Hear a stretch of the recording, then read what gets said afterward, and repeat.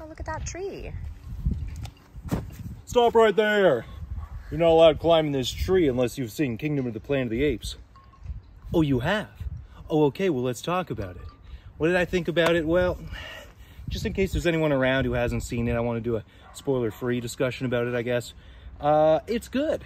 I think in the reboot series, Kingdom falls probably above War for the Planet of the Apes. Sorry, all the War for the Planet of the Apes heads out there, but uh, it's still not the best of the reboot. I think that goes to 2014's Dawn, but of course, it's really good. It's more of an adventure flick, and I really like what they did with the human-ape dynamic. That's all I'm gonna say. Check it out if you haven't. I give it a three and a half out of five stars. Okay, now go get out of here. Go get the hell, get out